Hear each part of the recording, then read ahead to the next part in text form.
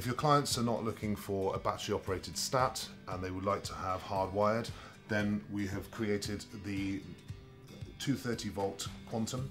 This product is connected to a backplate that is uh, sits into the uh, box.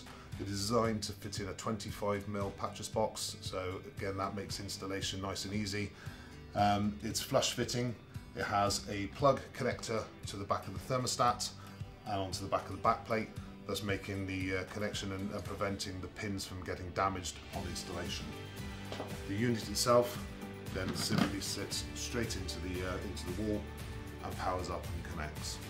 If your client has forgotten to take a cable back from the wiring centre to the thermostat, a nice simple process with this product is you can take a localized live and neutral from a local uh, plug socket, uh, connect it into the thermostat to give it power, and then within the settings of the thermostat you can RF link this back to a, an RF wiring centre.